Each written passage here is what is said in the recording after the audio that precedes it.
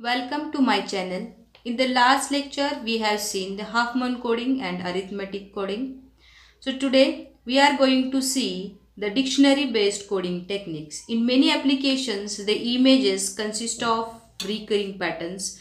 Most of the background information in images is a set of pixels which have a specific pattern. A very efficient approach to encode these images is to keep a list or a dictionary of frequently occurring patterns. When these patterns appear, they are encoded with a reference to the dictionary.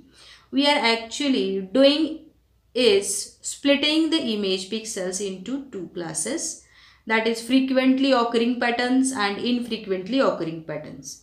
The first type of encoding that we are going to see here is run length encoding. Okay. It is the simplest dictionary based data compression technique. Image files frequently contain the same character repeated many times in a row. Images having very few gray levels often contain region of adjacent pixels all with the same gray level each row of such images can have long runs of the same gray value. In such cases, one can store a code specifying the value of the gray level followed by the length of the run. That is, we are specifying the value of the gray level and then we are specifying the length of the run rather than storing the same value many times over. Let us take an example. Consider the first row of an image which has the following gray levels. So this is an image having some gray values given here. So this is the first row having some gray values 2, 2, 2, 5, 5, 5, 5, 5, 5, 5, 5, 6, 6, 6 and 6 and so on. There are the number of rows having different gray level values. The first row of the image has 15 gray values. We would store the above row in a compact manner using run length encoding that as earlier we have stated that first of all we are specifying the gray level value and then that will be followed by the length of the run. See here in the first row, we have the first gray level value is 2 and its run length is 2 will appear thrice in the row 1, 2 and 3. So 2, 2, 2 is the run length. We have to specify first the gray level that is 2 and its length of run is 3. Similarly, for 5 is the second gray level in the row. And it will appears how many times? 1 2 3 4 5 6 7 and 8 so that will be encoded as 5 is the gray level and followed by the number of times it will come or it will repeated 8 okay? And the next gray level in the row is 6 so it is 6 and it will appears for 4 times. 1 2 3 4 1 2 3 4 so it can be encoded as 6 is the gray level and repeated or its run length is 4. The first code specify the gray value followed by the length of the run. Hence, when we are encoding this first row gray level values that can be encoded with the sequence as 2, 3, 5, 8, 6, 4. It means that 2 is the gray level appears thrice, 5 is the gray level appear 8 times 6 is the gray level that will appear 4 times. As evident, run length encoding achieves considerable compaction in images which have a fairly constant background. The run length encoding eliminates interpixel redundancies. The run length encoding also has a serious problem as the times the run length encoding doubles the size of the file. For example, we have a code here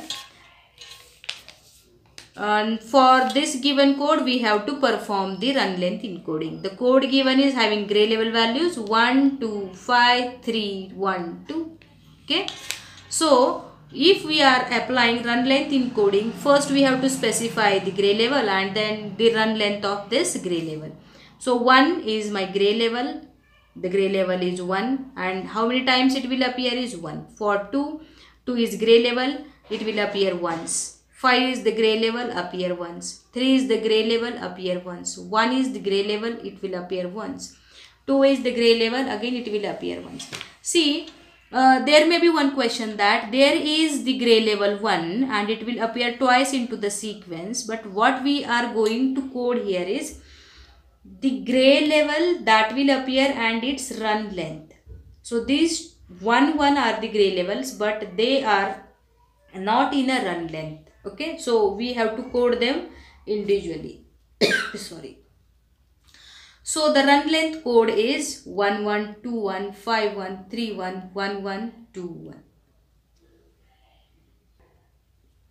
okay the run length encoding in this case is double that of the original sequence hence Run length encoding should only be used if we have the same character gray value repeated many times in a row. Okay. The second type of encoding technique or compression technique is LZW. This LZW compression is named after its developers Abraham Lempel and Jacob Ziv with latter modification by the Terry Welch. So it can be also called as Lempel-Ziv-Welch technique. So it is very regularly used due to its simplicity and versatility. LZW is always used in the graphics interface format for GIF images and offered as an option in TIFF images. This Lempel-Ziv-Welch uses a code table which has 4096 entries. Each entry in the table consists of 12-bit codes. The first 256 entries in the code table are 0 to 255 represents the 256 gray level stored as 12 bits while the remaining entries represent patterns of gray level present in the image. Now we'll see the example here uh, the table for LZW so this is the code table given by LZW. Code numbers 000, its translation is 1, 0, 0011, 0022, respectively up to 0255 will be coded as 255. After this, the next code number is 0256 which may have the different code length 231, 123, 124 and 125 respectively up to 4095 you can have the translation sequence various translation sequence into this table. The LZW method achieves compression by using codes 256 to 4095 to represent sequence of gray levels. These are nothing but the different gray levels. For example, for the code 256 may represent a sequence of 4 bytes. And these bytes are 231, 123, 124 and 125. So if we have an original data like this 120 is the gray level. It is 1 byte. 115, 231, 123, 124, 125 followed by 110, 160, 231, 123, 124, 125 when we see this is my data and that I have to encode here. So first of all from this table for 1 to 0 the which the bytes or the codes which are lie in the range 0 to 255 will be coded as as it is 0 to 255. So 1 to 0 will be coded as 1 to 0, 115 is 115, for this sequence 231, 123, 124 and 125. See here in the table 231, 123, 124 and 125 will have a code number of 0.256. Okay. So for these 4 bytes we are here coded them as 256. The next code byte is 110 then 160 Again the same sequence will get repeated here.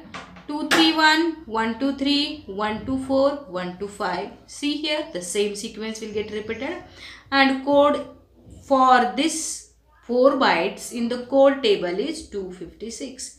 So it will be coded by the number 256. So during compression, code 256 is translated via the code table to recreate the 4 bytes. Larger the sequence assigned to a single code, higher is the compression. For example, next code is 257. There may be a very large sequence that we can represent only for 257. So, this large number of sequence or large number of bytes can be coded with the single code 257. Okay. Though this is the very simple approach, one important, very simple approach here and one important problem needs to be addressed here. Okay. The first codes going into the compressed file are single bytes from the input file 0 to 255. As we have seen here, the first code that will goes into the file are single bytes code and this 256 will have the 4 bytes. Okay. And each one of them is converted to 12 bytes. The Lempenjuel algorithm identifies the repeated sequence and adds them to the code table. Compression starts when we encounter this sequence and a second time. Okay. It means that first of all we are simply identifying the repeated sequence and we have add one code for this one the compression starts when the same sequence will be encountered second time into the sequence. Okay. The sequence from original data is not added to the code table until it has already been placed in the compressed file as individual characters 0 to 255. So in this way, these are the dictionary based techniques used for encoding or compression of the data the first dictionary based techniques that we have seen today is run length encoding. Again, run length encoding may have some of the drawbacks that for some of the examples, if the gray level signals are not repeated and they are appears once or twice in the sequence, that may increase the code length. And the second type of technique that we have seen is the LZW compression techniques which is a dictionary based techniques in which for each and every byte of signal we have its respective code designed into the table and according to this table we have to code the sequence from the message and we can done or we can do the compression. The one thing that again here to consider is if one of the code or if we have the large number of sequence that will get repeated into the message we can code them to the single code and this will give you the larger compression here. Okay? So this is the very advantageous and simple technique given by the Lempel, Ziv and Welch for the compression technique. In today's lecture we have seen dictionary based techniques two types of techniques. One is run length encoding and another is dictionary based techniques okay? In next lecture we will see the predictive coding techniques which is lossless predictive coding technique and lossy predictive coding techniques. Okay? So today we will conclude here. We will see into the next lecture